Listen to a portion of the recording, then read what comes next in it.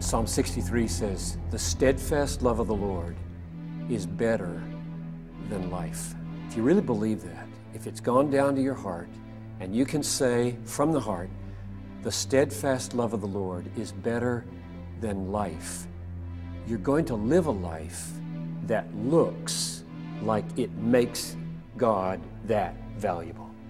More valuable than anything else in life.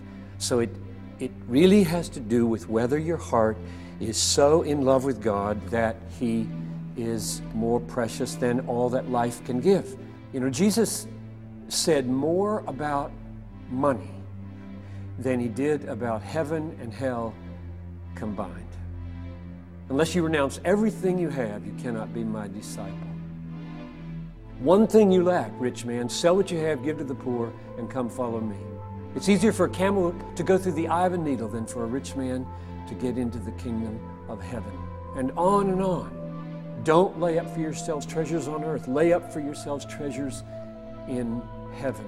He said more about money than he did about heaven and hell because where your treasure is, there will your heart be also. So, wh- why do we have money?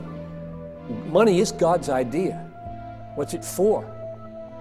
Here's the reason we have money we have money to use it in such a way that we show that money is not our God, but God is our God. That's why we have money. Money is given to us to use it in a way to show the world that money is not our treasure, but Christ is our treasure.